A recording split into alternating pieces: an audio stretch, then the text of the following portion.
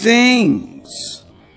The kings of the earth stood up, and the rulers were gathered together against the Lord and against his Christ.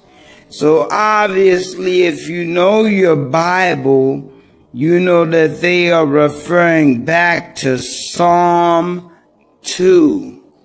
So whoever this person is, is the person who spake by the mouth of thy servant David this psalm.